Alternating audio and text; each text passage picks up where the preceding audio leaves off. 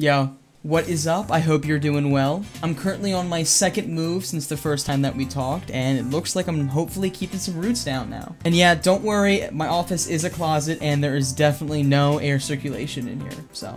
As all things are on this channel, I am making this video so I can inspire, motivate, and document the things that I do so I don't forget how to do them in the future. I've been struggling a little bit creatively recently, not like in writer's block, but just being able to like physically get down and make a video. I have a few video concepts that I've been working through right now, but I just wanted to use this video as a way to make something and then, you know, hopefully share something meaningful between finishing classes finally and the wonderful souls at Meta locking me out of my Oculus account, I have not been able to kick this itch. Thankfully, I've been able to satiate that creative hunger by spending hundreds of dollars on knickknacks and trinkets, so that I can slowly build up the courage to do some long-form projects that I've been trying to work on for a while.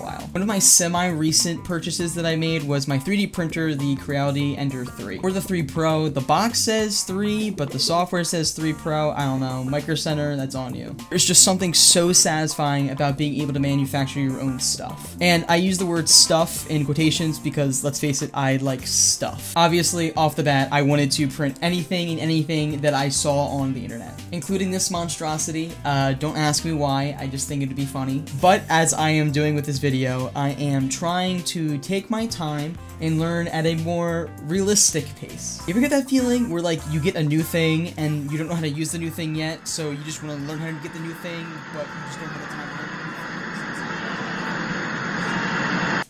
That aside, uh, I decided that I should probably play it cool and work my way up to be able to make something on my own. Which is exactly how I got this test print. That's one lucky cat. You probably can't see that sound. And then boom, I was humbled very quick by this very unforgiving medium. After this first one, I've had so many failed test prints that I'm surprised that I'm continuing to do this at all. To be fair, I love 3D printing. I just don't think that the 3D printer loves me. Before I go any further, this entire video is going to be one giant link fest, so I'm going to put everything down below. All the models, except for one of them that I did, are all downloaded the internet, so please go check out their creators because they are way more talented than I'll ever be. I have a separate video that I hope to make one day about VR kit bashing, which is a great concept, except I am nowhere near close to being able to complete that video. To be fair, I do have some kit bashing experience in the in VR, however, I naively did my first project on a specific thing. I don't think that the YouTube algorithm or any authorities would be very happy if I put in the title 3D printing a...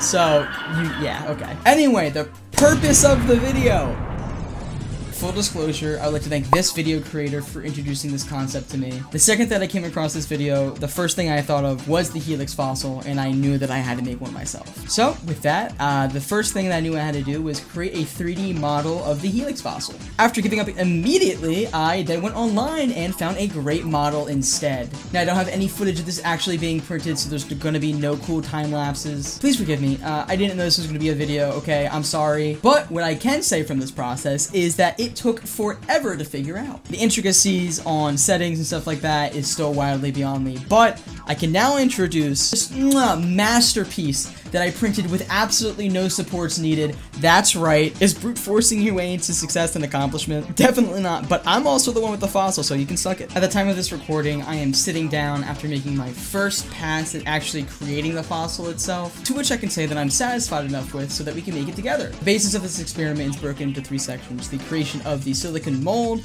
pouring in the plaster of Paris or whatever material that you would like, and then actually painting and doing decorations and doing finalized touches. Please take this all with a grain of salt, because you are looking at a certified, no experienced fella over here. I can tell you that much. I don't know what I'm doing. But as I said in the beginning of the video, this is a learning experience, and I need to document it some way, somehow. So sit back, relax, as we make the Helix fossil replica together.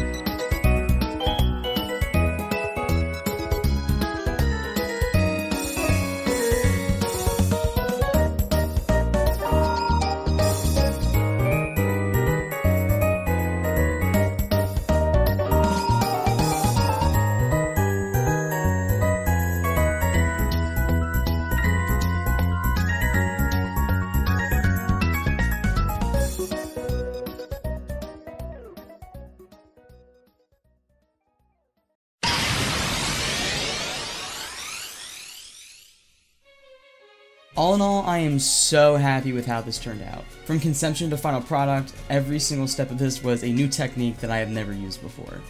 Obviously, you know, with some creative liberties here and there. Even with its imperfections, this has been one of the most satisfying projects that I think I've worked on in a while. And even with a complete model in the display case, I knew that I definitely wanted to display it in a different way. So I went to my local hardware store, uh, I got a quarter inch copper rod that I ended up cutting and filing down myself, drilled into the base, put some super glue into it, and now I have a stand, so that's cool. Just kind of going off the script right now, I don't really have a lot to say. This has been a really fun project that I've been able to work on. I'm super excited to be able to share it with you all. I don't really have a lot of time these days to be able to sit down and flesh out these sort of projects, so it just meant a lot to be able to kind of free range, make something, and, you know, make something for myself. I haven't done that in a while either. And please go subscribe to this YouTuber. Uh, they're amazing, and their video inspired me to do something that I haven't done in quite some time. I definitely think I might need to flesh out the step-by-step -step process a little bit better, but I'm a little cramped for time right now, so this is definitely the best that I've been able to do in the two days that took to make this video. Uh, I just hope that you found this video really entertaining and insightful. I miss making these sort of things, and this really felt great to be able to do. Alright, that's all I wanted to say.